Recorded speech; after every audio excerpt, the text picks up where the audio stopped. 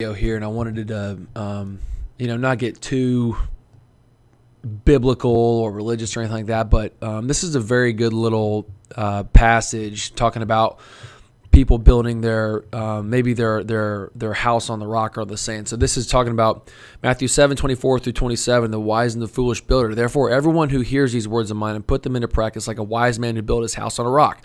The rain came down, the streams rose, and the wind blew and beat against the house, yet it did not fall because it had its foundation on a rock. But everyone who hears these words of mine and does not put them into practice is like a foolish man who builds his house on the sand. The rain came down, the streams rose, the winds blew and beat against that house, and it fell to a great crash. So I'm not going to get into the whole side of, of the, the, the biblical side of this, but I'm, I'm talking more about the financial house that you're building. Are you building this on a rock or are you building on the sand? And most people, in my opinion, uh, they think, okay, you got they they have three options or their main option is I'm going to build up my savings and hope that my money outlives me. They, or they could do and say, well, I have a, you know, they're going to wait to go in and to, to, park money somewhere until they have a larger sum of money. They get started late and then they never tap into that power of compound interest. Well, infinite banking gives you a, a whole different spin and it, and it basically gives you a contractual guarantee growth, tax free gains, and your money always outlives you. So you're creating generational wealth. So let's get into this and let's see here what, um, what a lot of people do. I want to ask you a question here. So, if you're gonna, are you gonna build your financial house on the sand? So let's let me ask you this question. Let's say that you and I are gonna start a business. Okay, I'm gonna ask you to go into business with me, and we plan on making a ton of money. Okay, but here are my requirements to be my partner. Number one, I want you to put up all the capital, the initial capital, and then when the business needs more money injected, we ask you for those additional funds. Okay, I want you to take all the risks. I need you to ride the ebbs and the flows of the market. Okay, I'm not taking on those risks. You do. And then also, I need you to pay someone to manage our business every day, every week, every month, and every year. I don't want to be a part of that, but I want you to pay for that management. But then after 30 years of business growth, hopefully over time we start our business. 30 years later, we're going to want to retire and cash out of this business. I get to come back and I get to choose how much profit split I get to take and I want. Maybe it's 30%, maybe it's 60%. It doesn't matter what you want. You did all the work, yet I get to decide how much I how much I want to take from you. Are you in or are you out on that business?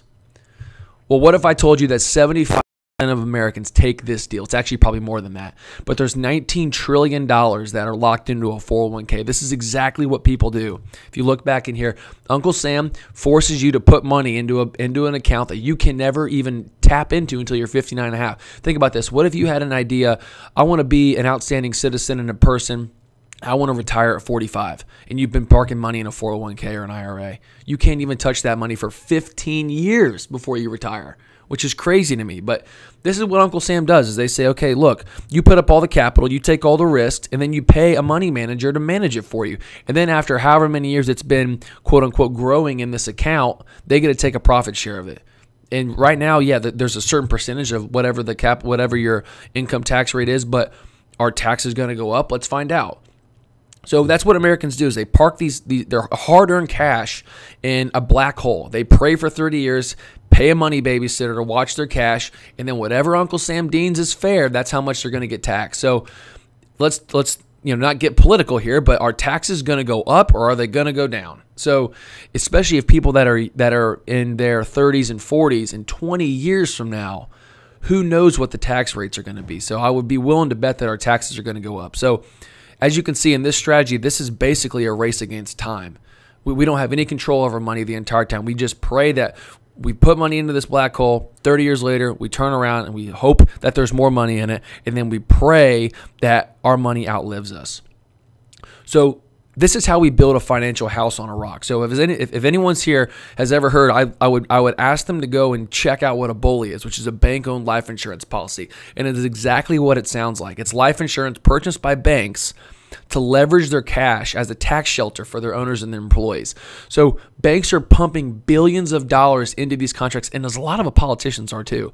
But let's talk about banks. They're pumping billions of dollars into these contracts every single year because they know that they can allow their money to grow tax free, uninterrupted compounding for their employees and their owners and so my question is is if banks are pumping billions into these infinite banking policies, why aren't we doing what banks are doing? Wouldn't that make the most sense? The banks have the biggest buildings in all in every single city in every single state.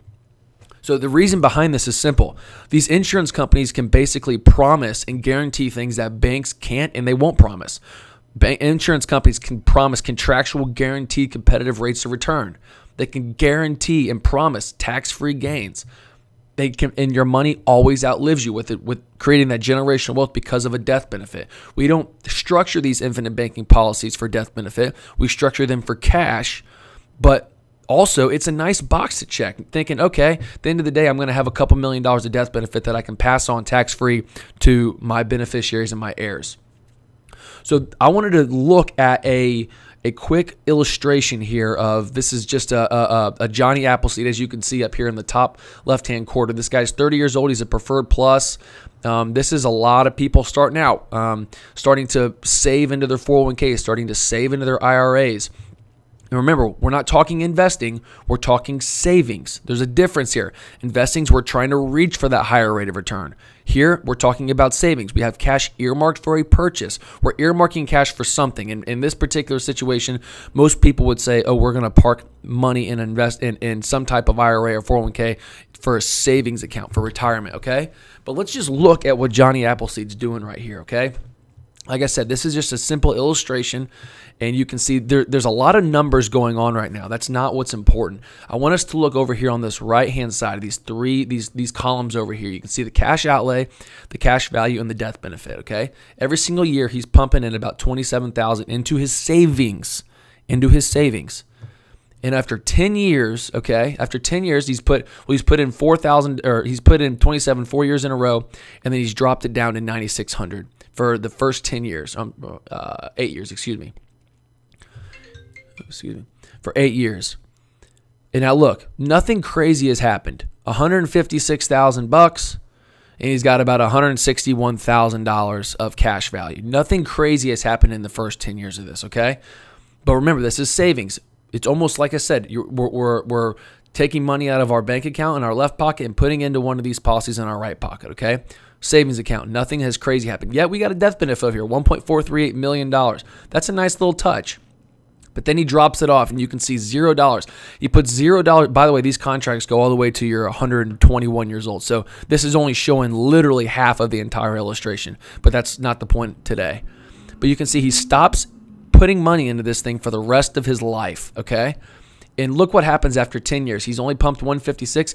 He's got 250 grand and he's got a death benefit of eight. And the reason they do that, they paid up reduce, rate up, reduce, paid up rider, which basically just says you're not putting another dollar in here. Now this is contractually guaranteed. You have a guaranteed death benefit for the rest of your life that continues to grow. So the next the next 10 years, $156,000. He's got 386 grand of cash value in his savings account. And so I guess what I'm asking people is is if you think about an investment over here. What if you could park money into something that that you don't ever you stop putting money into and over 20 30 years you've almost tripled your money and you're not even investing. It's a savings account. What if you were parking that money in a bank account at uh, Wells Fargo or Regions Bank? You're not going to get anywhere near this type of growth that's contractually guaranteed with the death benefit. So let's look at what happens if we want to turn this on even more. We actually want to become our own bankers and become an infinite banking uh, person. We want to partner with the insurance company on this. Look at this. So same thing, twenty-seven thousand for the first four years, but then he just continues to use this as his bank account. Okay, as as as every single day he's able to have access to every single dollar of this cash value whenever he wants. It's like a bank account. It's the same thing, only we're taking money out of our bank and we're parking it with an insurance company for those reasons. Look at this 165,000 after 10 years. He's got 178. Nothing crazy, nothing to write home and mom about. You know, $1.448 million death benefit.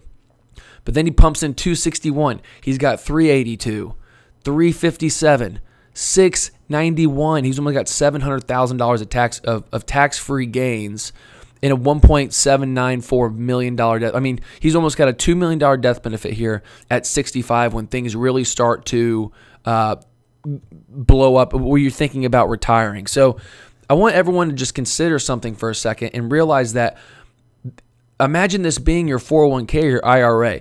I would I would uh, gamble with anybody that could in 30 years tell me I put in $357,000 and they could know exactly what number that they would have uh, in their 401k or their IRA. It, it would be impossible to, to, tell. But here, this is contractually guaranteed. You can look, you can forecast out, oops, you can forecast out 30 years into advance and know exactly what dollar amount you're going to have. while all this is being available in, in cash value. And then if something, if someone does have a bad day, you get 1.923 million dollars in a death benefit. It's hard for me to, to um, I guess it, it you know, this is the way that I look at things. And I think, okay, I want to always have my cash working. We're going to go and invest in money or in, in, in, deals in real estate or purchase new cars or buy our kids education, things like that. You have to pull money from somewhere.